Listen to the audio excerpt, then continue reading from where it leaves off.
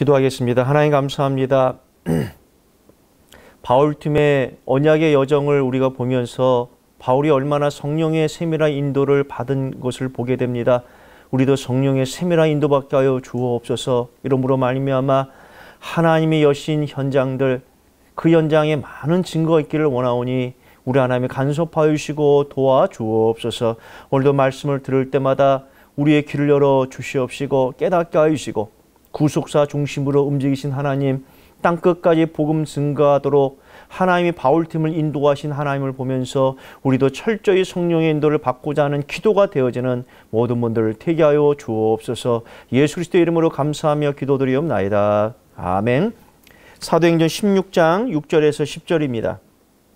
사도행전 16장 6절에서 10절 제가 봉독해 올리겠습니다. 성령이 아시아에서 말씀을 전하지 못하게 하시거늘 그들이 부르기아와 갈라디아 땅으로 다녀가 무시 앞에 이르러 비두니아로 가고자 애쓰되 예수의 영이 허락하지 아니하는지라 무시아를 지나 드로아로 내려가는데 밤의 환상이 바울에게 보이니 마게도냐 사람 하나가 서서 그에게 청하여 이르되 마게 도냐로 건너와서 우리를 도우라 하거늘 바울이 그 환상을 보았을 때 우리가 곧 마게 도냐로 떠나기를 힘쓰니 이는 하나님이 저 사람들에게 복음을 전하라고 우리를 부르신 줄을 인정함이로라. 아멘. 오늘 성령의 세밀한 인도입니다. 사도행전 16장 6절에서 10절의 메시지가 뭐냐면 자 바울이 AD 49년에 이제 어, 수리아 안디옥을 출발합니다. 바울과 신라가 둘이 한 팀대 출발합니다. 로스드라에서 디모데가 합류합니다. 이제 드로어 항구에서 누가가 합류합니다. 바울의 생각은 철저히 이 아시아 지역, 이 소아시아 지역의 복음을 증거했습니다. 왜? 1차 세계 선교도 보세요. 비시디 안디옥, 이고니온, 로스드라, 더베 이쪽 지역을 이제 갈라디아 지역이라고 하거든요. 여기에서 복음을 증거하고 교회가 세워진 겁니다. 그래서 자 북쪽으로 가기를 원했어요. 북쪽으로. 그래서 이 무시아라는 지역에서 이 북쪽 비두니아 쪽으로 가기를 원하는데 예수의 영이 막으시는 겁니다. 막으시는 거예요. 성령이 막 막으시는 거예요. 못 가게 하시는 거예요. 문을 안 여시는 거예요. 그래서 우리 우리 생각대로 하는 게 아니라 성령의 인도를 받기 위해서 가장 중요한 게 내 걸 꺾어야 되거든요. 인도와 반대되는 말이 고집이거든요. 내 생각대로 하는 걸 고집이라고 말합니다. 인도는 내가 꺾어야 돼. 성령이 stop하신 거예요. stop. 그러니까 인도는 go와 stop이거든요. 가는 것과 멈추는 것. 성령이 가라. 고. 성령이 멈춰라. 스탑. 성령이 지금 허락하지 아니한 겁니다. 스탑시킨 거예요. 그 얘기입니다. 왜 성령께서 이 비두니아로 가고자 했는데 이 소아시아 지역으로 가기를 원했는데 바울이 왜 이렇게 막으실까? 왜 성령이 막으실까? 그걸 우리가 구속사 중심으로 보셔야 돼요. 역사는 구속사 중심으로 움직입니다. 역사의 시작은 창세기 3장 15절입니다. 역사의 마지막도 창세기 3장 15절의 주인공이 재림하는 겁니다. 이걸 우리는 역사라고 얘기하는데 성경으로 보면 구속사의 역사, 구속사의 역사라고 해요. 그 시작은 창세 3장 15절입니다. 하나님의 마음은 구속사 중심으로 움직이는 거예요. 그래서 구약과 신약이 있습니다. 구약은 뭐지요? 구약은 소개하는 겁니다. 누구를 소개합니까? 그리스도를 소개하는 거예요. 다른 말하면 여자의 후손을 소개하는 거예요. 신약은 뭐지요? 여자의 후손 대신 그 메시아가 히브리어로 메시아, 헬라어로 그리스도, 한국말로 구세주가 예수라는 거예요. 그 사도행전은 뭡니까? 바로 그리스도가 예수라는 사실을 바울 팀들이 증거하는 겁니다.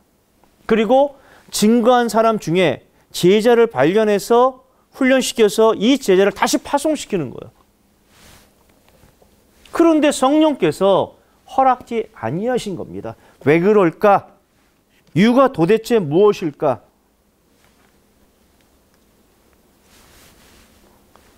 왜 아시아의 복음 증가기를 원했는데 성령이 멈추게 하셨을까? 노했을까? 스탑시켰을까?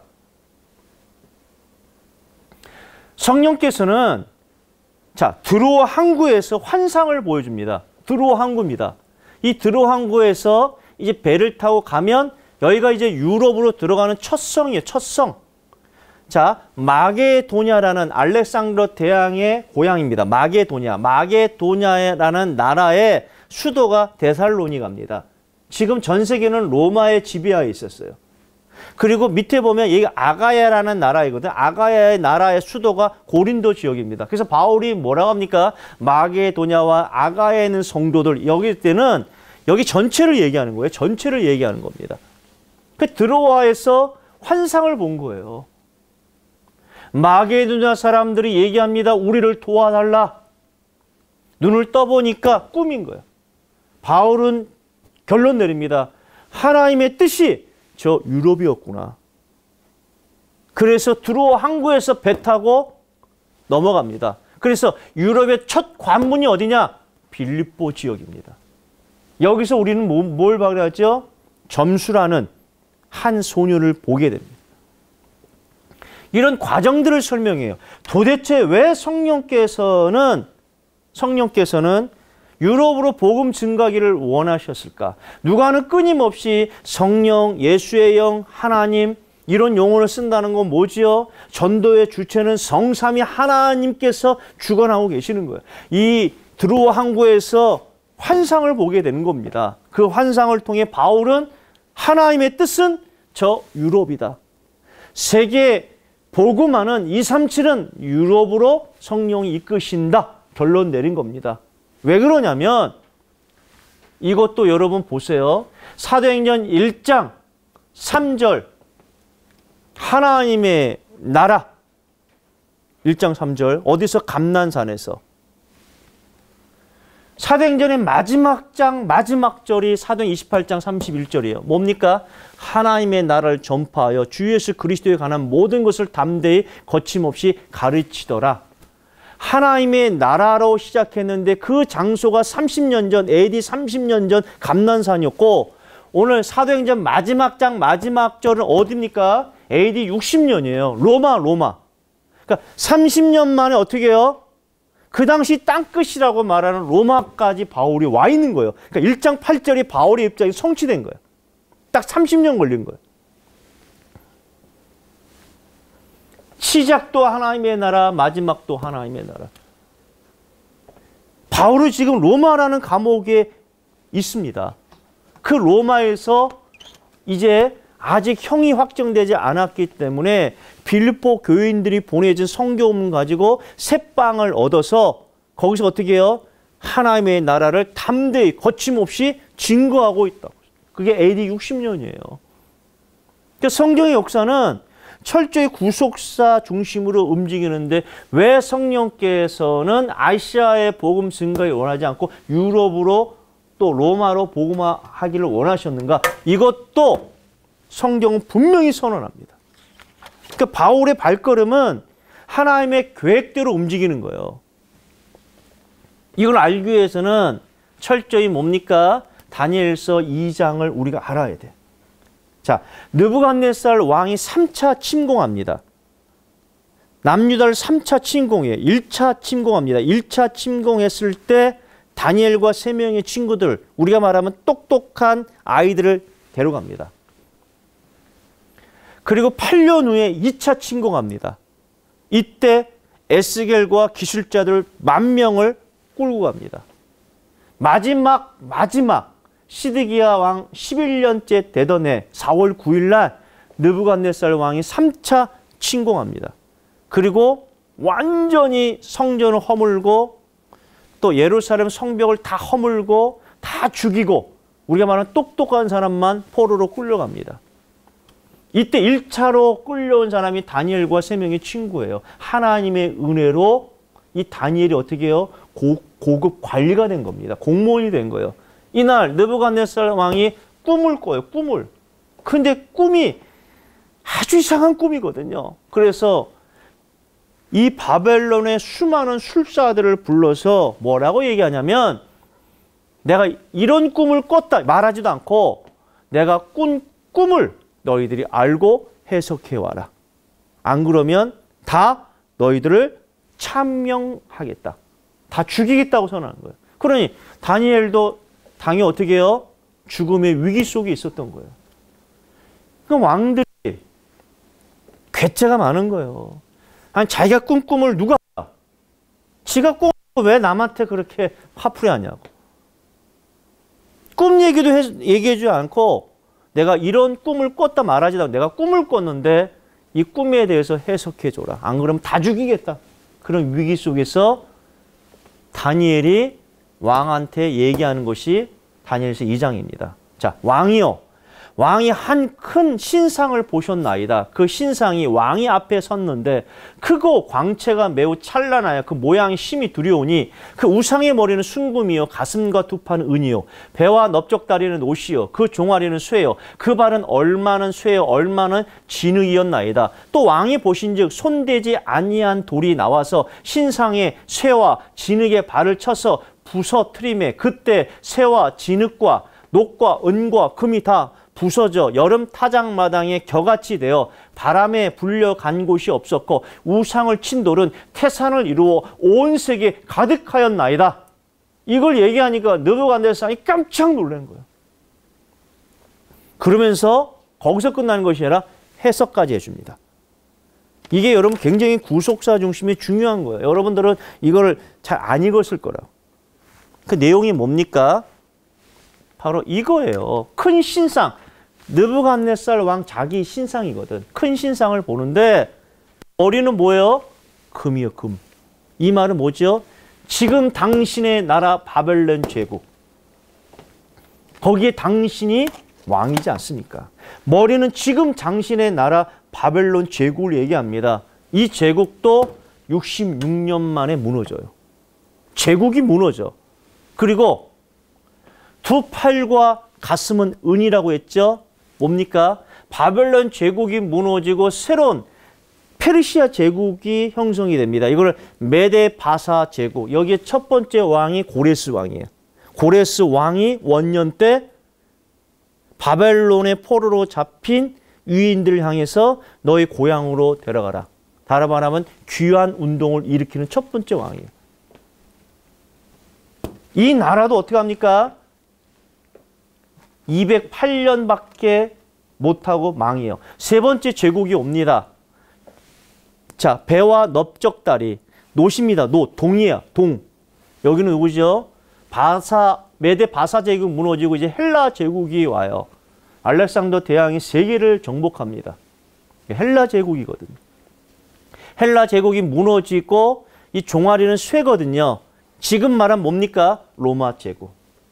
그 로마 제국은 그래도 539년을 유지하고 로마 제국도 무너집니다. 그리고 발인데 이 발은 한쪽은 끼어 한쪽엔 쇠. 이, 이 나라는 로마 제국이 무너지고 이제 어떻게 하지요? 새로운 국가가 계속 되면서 유지되면서 무너지고 무너지는. 이걸 본 거예요. 근데 큰 신상이 어떻게 합니까? 손대지 아니한 돌. 손대지 아니한 돌. 그러니까 사람이 깎아서 만든 인위적인 돌이 아니라 손대지 아니한 돌이 이 발을 딱 치니까 무너지면서 이게 와르륵 무너지는데 나중에 어떻게 해요? 저처럼, 저처럼 다 날아가 버린다는 거예요. 그럼 뭘 얘기합니까? 손대지 아니한 돌은 예수 그리스도예요. 여러분, 나중에 우리가 구약을 볼 때 이 제사를 드릴 때도요, 이 돌을 깎을 때도 깎지 말라고 합니다. 돌을 깎지 말라고 그래요. 깎지 않는 돌 위에 제사를 지내거든요. 그러니까 이 사람의 인위적인 것으로 재단에 재단을 만들지 말라고 그래요. 인위적으로 만든 건 우상의 재단밖에 없어요. 인간이 깎아서 만든 것. 손대지 아니한 돌은 인간의 전혀 개입하지 않은 장차 오실 예수 그리스도를 상징하는 거예요. 하나님은 역사를 그렇게 움직이는 거예요. 바벨 아수르란 나라가 무너지고 바벨론 제국이 되어지고 이 제국도 무너지고 메데 바사 제국도 되어지고 그다음에 메데 바사 제국 무너지고 헬라 제국이 되고 헬라 제국도 무너지고 로마 제국이 임할 것이다. 그러니까 하나님은 역사적으로 이, 이 시대를 움직이는 거예요. 그래서 순차적으로 이 복음이 어떻게 돼요? 지금 로마 제국으로 가고 있는 겁니다. 그걸 지금 얘기하는 거예요.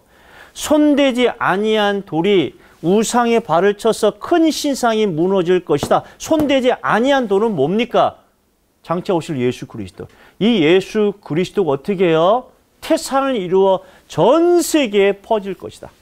우상을 깨고 종교를 깨고 손대지 아니한 돌, 다른 말로 하면 이 복음이 전 세계에 퍼질 것이다. 그러나 순서가 있다고. 어디입니까? 먼저는 로마로 갈 것이다. 유럽으로 갈 것이다. 그래서 바울팀이 소아시아의 복음 증거하는 걸 막으셨다는 건 순서가 먼저 어디예요? 유럽으로. 그 유럽에서 나중에 어떻게 합니까? 로마로 가는 겁니다. 그러니까 이것이 우리가 말하면 언약의 여정이에요. 하나님의 말씀대로 이 세계가 움직이는 거예요. 지금 이 시대는 어떻게 해요? 이 복음이 한국으로 온 겁니다.